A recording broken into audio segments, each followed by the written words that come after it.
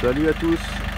Euh, Aujourd'hui une nouvelle activité pour, euh, pour le John On va fendre du bois.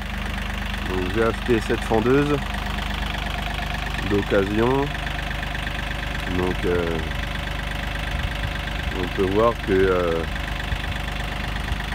le bas est à repeindre. J'ai essayé de le repeindre mais les conditions météo euh, permettent pas de faire un bon travail donc je vais l'envoyer dans une, euh, entreprise euh, spécialisée euh, pour la sabler et la repeindre entièrement.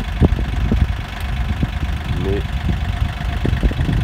avant ça, il y a un peu de, gros à fendre. Donc c'est que des gros. hein.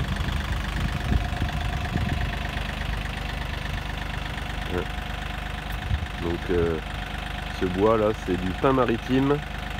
Donc c'est euh, en gros euh, ce que j'avais abattu pour ceux qui suivent les vidéos pour euh, j'avais abattu ça avant de faire le hangar pour en cas de tempête que ça tombe pas dessus. Donc voilà, je vous présente un peu. Donc c'est une fendeuse Lorrain Cartel. Il y a 65 cm de dégagement sous le coin et c'est une 12 tonnes de poussée. Donc, euh, donc voilà. On va essayer ça. Allez, je vais, vous faire voir comment ça marche. A tout de suite.